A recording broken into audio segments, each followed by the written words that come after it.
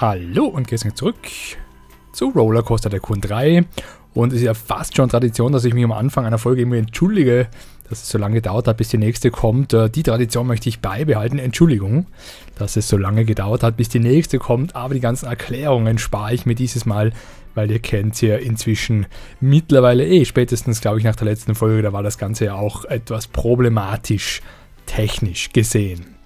Ich habe mir natürlich Gedanken gemacht, was wir dieses Mal so angehen. Es fehlt natürlich noch ein bisschen was im Piratenbereich, keine Frage. Ich habe gesagt, noch ein bisschen dekorieren eventuell. Aber ich habe auch Lust auf was Neues und ich möchte so ein bisschen den ja, das ist eben die Frage. Abenteuer, Safari, was auch immer Bereich ein bisschen machen. Und ich habe jetzt ein bisschen geschaut, was wir denn so zur Verfügung haben, puncto Atlantis, Trauminsel, Safari oder Steinzeit. Und die Antwort ist nichts.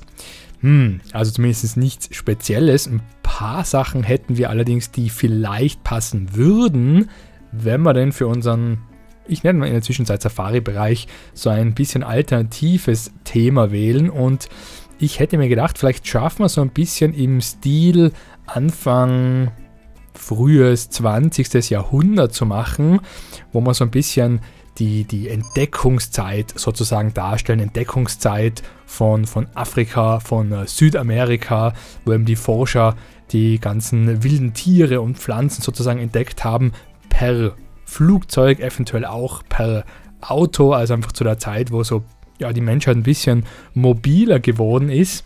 Und Flugzeug sage ich deswegen, weil man entdeckt eben vielleicht per Flugzeug hier den Dschungel oder die ganzen Tiere oder wie auch immer. Und da könnte man eben sowas reinbringen, wie die ganzen, äh, ja, im Flugzeugattraktionen zum Beispiel. Wo war es denn? Lasst mich mal schauen. Ja, im Lupo Plane zum Beispiel. Ähm, was würde noch passen? Octopus, naja, nicht so wirklich, aber hier Rolloplane, die wären vielleicht ganz nett. Bin mir zwar nicht ganz sicher, in was für einem Stil das gehalten ist oder was für ein Zeitalter das sozusagen angesiedelt wäre. Aber das können wir eben hier machen, das ein bisschen durchmixen. Und genau, dann haben wir ja noch die, wo sind die dabei gewesen? Hier, oder die anderen Bahnen. Genau, da können wir eventuell noch die eine oder andere etwas, ja, leichtere sozusagen Achterbahn bauen. Ja, Hubschrauber wird schon ein bisschen kollidieren vielleicht, aber genau so Oldie-Wagen, das wird eventuell ganz gut passen. Äh, Seifenkisten vielleicht sogar oder die hier so alte Rennwagen und eben das Ganze hier ein bisschen mischen. Safari und so, ja, alte Flugzeuge, alte Autos, wie auch immer, mit denen man hier eben auf Entdeckungsreise geht. Was wir allerdings auch machen müssen, ist natürlich ein paar Gehege und ich habe versucht ein bisschen zu planen, aber irgendwie hat mir gar nichts gefallen, deswegen wage ich jetzt sozusagen live einen weiteren Anlauf. Zuerst mal schauen, ob wir hier unsere Schulden loswerden können. Die Antwort ist ja, wobei ich jetzt vermutlich Land kaufen werde und direkt wieder Schulden machen muss.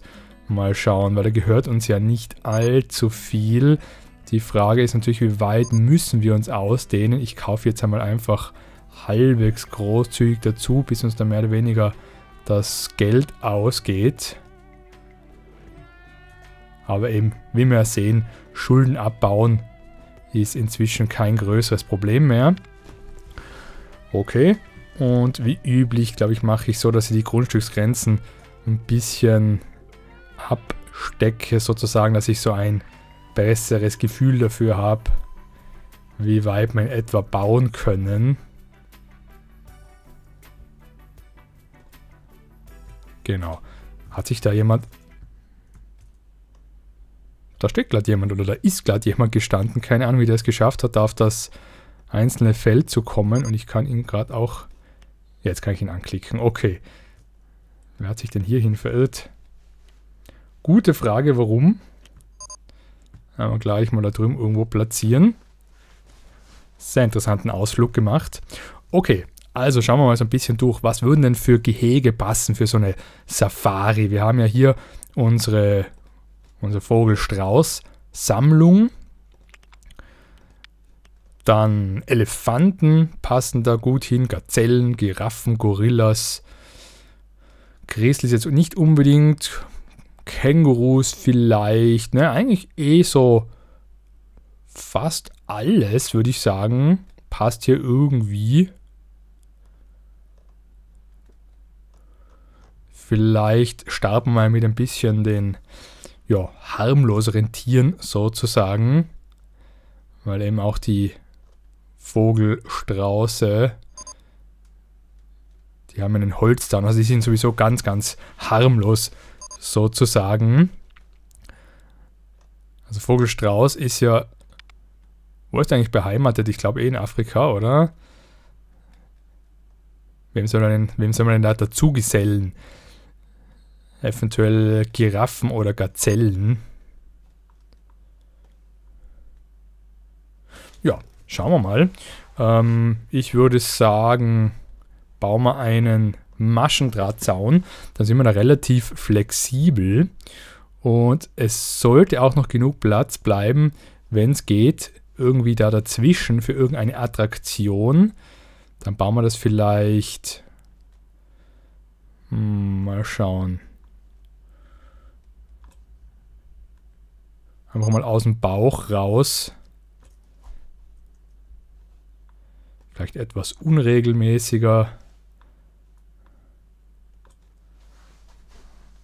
So, schaut nach einem schönen, netten, großen Gehege aus. Warum nicht? Und habe ich jetzt Maschendraht genommen? Ja. Wir können ja auch schon die eine oder andere Galerie einplanen, beziehungsweise ähm, zumindest überlegen, wo das Haus hinkommen würde. Wir können das Haus zum Beispiel da hinten hinbauen und hier eine Galerie und oder hier eine Galerie. Also da haben eh eigentlich zwei ganz gut Platz. Sonst machen wir da eine große in dem Falle. Aber wobei, die ist fast ein bisschen, bisschen übertrieben groß. So viel wollen wir die Tiere dann auch nicht stören. Genau. Und die Frage ist, sollen wir jetzt durch jedes Gehege mit der Bahn durchfahren? Bin ich mir nicht ganz sicher, aber ich würde sagen, wir versuchen es mal. Äh, zu dem Zweck müssen wir die halt schließen. Die ist eh nur auf Testfahrt, dann ist eh egal. Okay, und dann ist eben die Frage, Okay, die baue ich jetzt gerade wieder verkehrt herum. Die ist aber nicht so schlimm. Ähm, schauen wir, dass wir einfach direkt in das Gehege rüberfahren. Und hier so eine kleine Schleife ziehen. Und dann direkt wieder raus. Dann hat hier noch schön das Haus Platz. Man äh, quert das Gehege auch ein bisschen. Und hier könnte man immer noch, keine Ahnung, einen Teich oder ähnliches machen, falls vonnöten. Und was ich auch überlegt habe, aber da bin ich mir nicht sicher. Ich glaube, das werden wir nicht kombinieren. Wir haben ja auch Eisbären, die können wir durchaus da oben äh, platzieren, aber das wäre vielleicht eine etwas zu lange Fahrt darauf und wieder runter. Also ich glaube, das lassen wir in dem Fall so. Gut, und wie üblich würde ich sagen, legen wir die Gleise einfach mal mehr oder weniger zu Ende, beziehungsweise können wir uns ja ungefähr überlegen, wo wir noch Gehege haben. Wir können ja hier vielleicht noch eins machen. Also ich möchte einfach schauen, dass ein paar Attraktionen dazwischen Platz haben. Hier eventuell eins.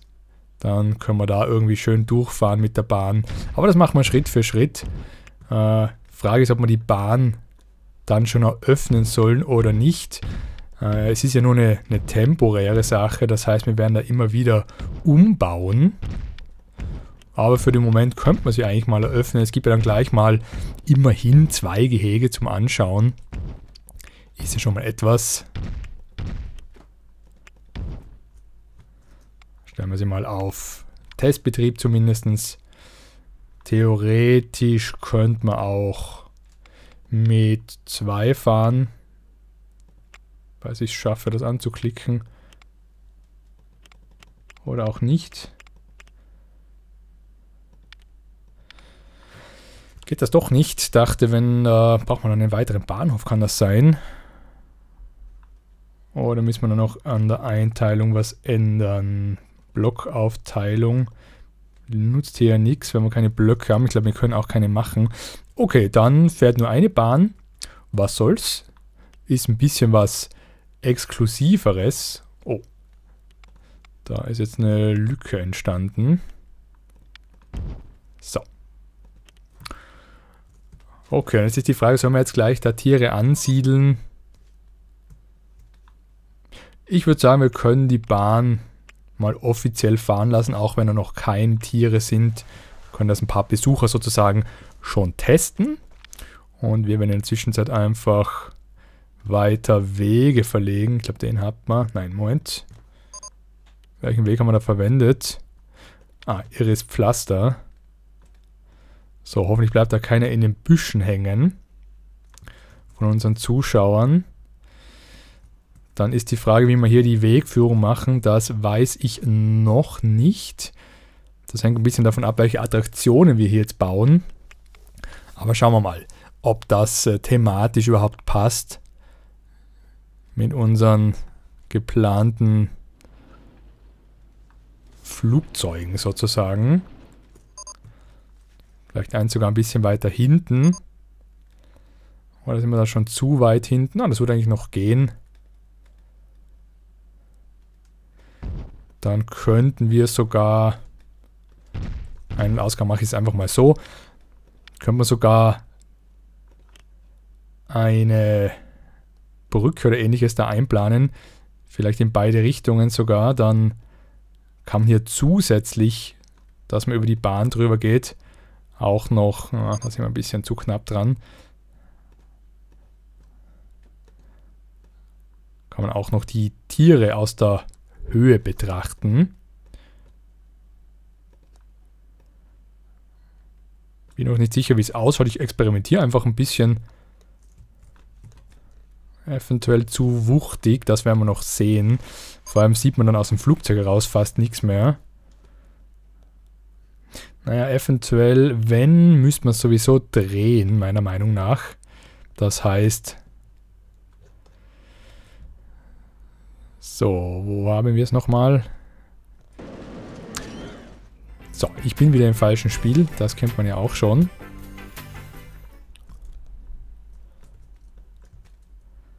So, nämlich nicht so, sondern so, weil tendenziell, würde ich sagen, schaut man ja auf der Seite raus und dann sieht man hier hin, beziehungsweise darüber. Gut, da ist jetzt nicht mehr viel Gehege, gebe ich zu. Aber okay,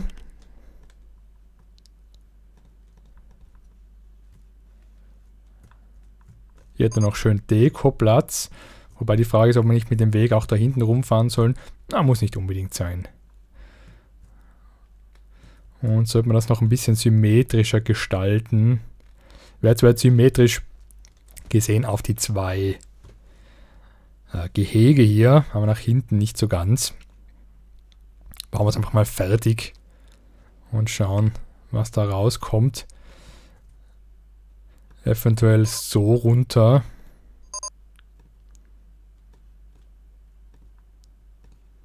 Ja, vielleicht wenn das halbwegs nett dekoriert ist. Wer weiß. Schaut unter Umständen nicht so schlecht aus. Gut, da brauchen wir auf jeden Fall die Galerie. Dann werden wir vielleicht hier noch hinfahren mit dem Weg. Und gefühlt hätte ich gesagt hier. Und das können wir irgendwie so anschließen. Dann können wir eben hier noch ein Gehege machen, wo die Bahn durchführt. Den Weg führen wir dann irgendwie da außen rum. Da müssen wir noch schauen. Hier vielleicht eine normalen, einen normalen Übergang, wie wir ihn da auch haben. Den muss ich hier eh noch bauen erst und hier dann auch in dem Falle. Okay, bin noch nicht so ganz sicher. Müssen wir schauen. Okay, dann werden wir ein, zwei Sachen doch gleich erledigen, bevor wir hier großartig eröffnen. Nämlich entferne ich da mal die Gleise. Dass wir erstens das Gehege machen können und zweitens hier auch richtig die Überführung vorbereiten, weil da müssen wir ja in den Untergrund vorher bauen. Ein gutes Stückchen. Und die Wege da unten pflanzen. So, dann bauen wir noch schnell das Gehege. Ich würde sagen auch einfach Maschendraht. Haben ein paar ausgewachsene Strauße. Und eventuell müssen wir ein paar Mechaniker noch einstellen. Und hier die Bewertung geht auch ein bisschen runter. Die war vorher, glaube ich, fast auf Anschlag.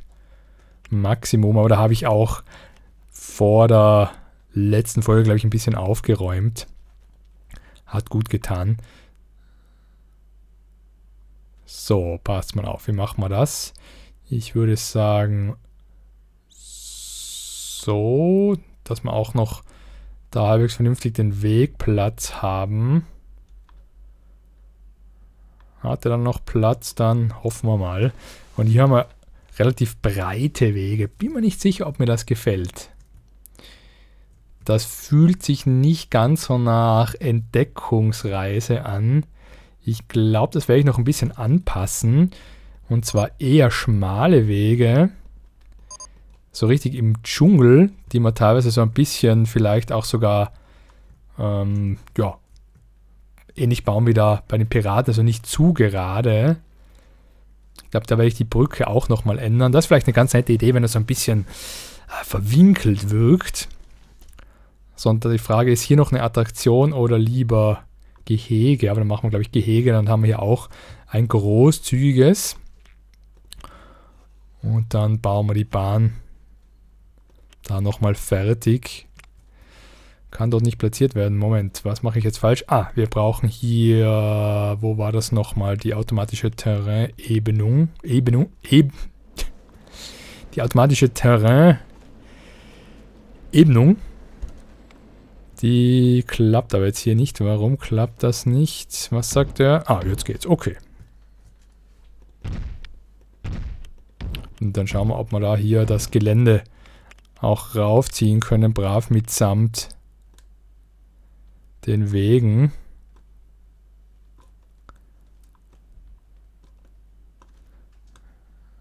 Hm, scheint leider nicht zu gehen. Oder nehme ich nur das falsche Tool? Ah ja. Okay, ich nehme alles zurück. Das klappt bestens. Dann haben wir hier auch die Überführung. Gut, weil da drüben haben wir es ja auch schon geschafft, also warum nicht? Ja, und das Ding hier, das müssen wir definitiv nochmal bauen.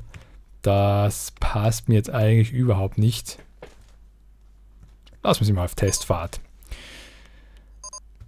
Das möchte ich einfach ein bisschen mehr, weiß nicht, verwinkelt haben. Reiße ich mal den ganzen Teil hier ab.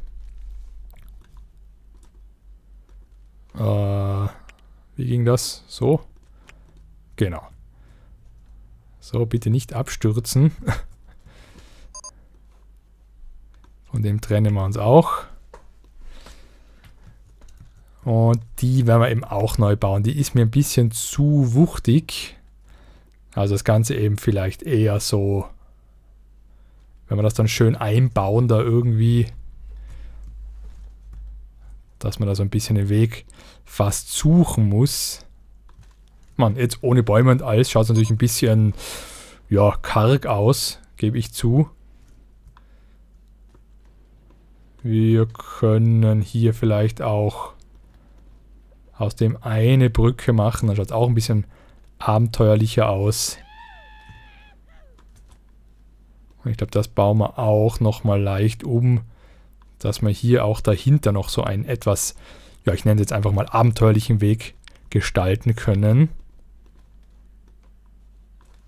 dass da nicht Schluss ist. Haben wir das Ding eigentlich schon eröffnet? Nein. Müssen wir auch noch. Das auch lohnt, da hinten zurückgehen. Ja, schon besser. Schon besser. Dann brauchen wir natürlich auch hier drunter. Müssen wir den Weg noch löschen. In der Zwischenzeit können wir ihn lassen, nicht ganz so schlimm. Und ja, hier endet einfach der doppelte Weg, genauso wie hier. Warum nicht? Ah, da haben wir sogar eine eine schöne äh, Sektion da am Strand, wo man am Strand entlang geht. Was auch immer wir hier machen, so ein letzter Blick sozusagen oder ein erster, je nachdem von welcher Seite man kommt, auf die Piraten. So, ich lasse einfach den Zufallsgenerator ein bisschen mitspielen. beim Wege ziehen. Irgendwie so. Wenn wir das Ganze jetzt noch schön dicht dekorieren, schaut es hoffentlich sehr abenteuerlich aus. Gut, was haben wir noch an Fahrten, die passen würden? Natürlich noch das zweite Flugzeugthema.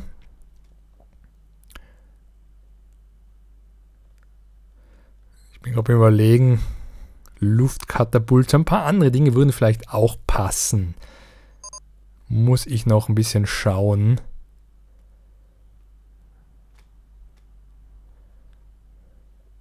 Und auch das eine oder andere, was eventuell noch in dem Piratenbereich sich ganz gut machen würde. Wirbelnder Derwisch. Ich weiß eigentlich nicht, was ein Derwisch ist. Zwirbler. Ich glaube, die Flugzeuge, die passen ganz gut. Topspinner wäre auch noch okay. Sturz aus den Wolken. Fallschirmsprung wäre auch noch gut. 7x7 ist riesig. Da bleiben wir lieber bei den kleinen Dingen. Nehmen wir noch das Rolloplane. Das machen wir vielleicht hier hin. Warum nicht? Ich eröffne das einfach mal direkt alles. So, ein paar Zuschauer haben wieder ein Foto abgeliefert. Sicherster Park und beste Gruselszenerie haben wir. Sehr schön. Okay. Und jetzt gilt es natürlich noch. Ah, Moment, wir haben noch was vergessen. Hier muss noch eine Galerie her. Hm, ich glaube, in dem Fall machen wir vielleicht da das Haus und hier die Galerie. Das wird sich, glaube ich, ganz gut machen. Dann sieht man auch von der Bahnstation aus nicht direkt gleich auf die Strecke. Da machen wir einfach auch. Ich glaube, hier passt sie gar nicht schlecht. Dann können wir da mit den Wegen schön ranfahren. Braucht man eigentlich, ich glaube, da braucht man gar keine Wege, oder? So soll es eigentlich genügen. Gut, es sei natürlich, man will eine Abkürzung machen. Oder man will nicht unbedingt übers Gehege da hinlaufen. Ah, und da fällt mir noch was ein. Wir müssen die, falls wir das noch nicht haben, die natürlich auch kostenlos machen. Die zwei sind noch geschlossen, da gibt es noch nichts zum Sehen. Okay. Ja, noch schaut es ein bisschen karg aus, aber ich glaube, das könnte was Nettes werden. Vor allem, wenn wir da jetzt noch ähm, irgendeine, irgendeine tolle Bahn unterbringen. Irgendwie so die Oldie-Wagen oder die, die Sportwagen würden mir gut gefallen. Hubschrauber ein bisschen zu modern. Ich versuch's mal. Und irgendwo, genau, irgendwo in der Mitte von dem riesen Dschungel, den wir da haben. Und dann passt auch mit den Palmen und ähnlichem gut zusammen. Irgendwo in der Mitte werden wir dann einen schönen großen Aussichtsturm machen. Kommt an, wo dann die Mitte ist. Hier oder eventuell dann hier. Dann machen wir da und da noch ein Gehege. Hier noch eins, hier noch eins. Genau. So, aber zurück zum Thema. Ich wollte noch ein paar Minuten aufwenden, um zumindest anzudeuten, was ich dann noch vorhabe. Punkto Bahn. Das ist jetzt eben die Frage, die hier oder die hier. Einmal die Oldie-Wagen. Und ja, spricht natürlich auch nichts gegen eine Achterbahn in dem Bereich. Aber ich möchte mal mit sowas starten. Bin mir noch nicht sicher, wie es ausschauen soll. Und was ich auch nicht weiß, ich, ist, wie, wie schnell die steigen können. Müssen wir mal schauen. Ah ja, schnell genug, dass wir da oben drüber kommen. Und ab und zu lugt man dann so ein bisschen aus dem, aus dem Dschungel raus. Wäre meine Vorstellung. Streift vielleicht sogar so ein bisschen ein Gehege oder auch nicht. Das geht leider nicht.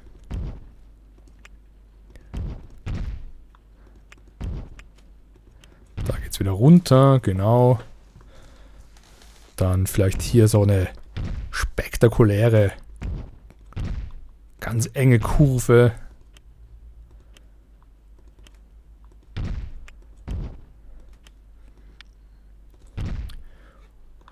Und müssen wir schauen. Vier oder fünf Anstehreihe. Da müssen wir natürlich noch irgendwie wieder drüber kommen. Vielleicht sogar über die Bahn, wer weiß. S-Kurven gibt es da keine. Und da werden wir schauen, dass wir da wieder runterkommen. Nicht allzu lang.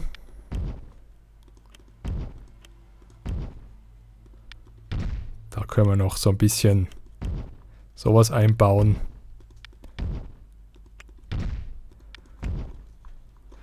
Hier rein, hier raus. Da die Anstehreihe noch ein bisschen verlängern. Und perfekt. Gut, mit wie viel Wagen können wir da fahren? Auf jeden Fall werden wir ein bisschen Gas geben. Ähm, sollen wir noch ah, Ein- und Ausgang ändern? Können wir, würde ich sagen, später machen. Was ist das Maximum, was da geht?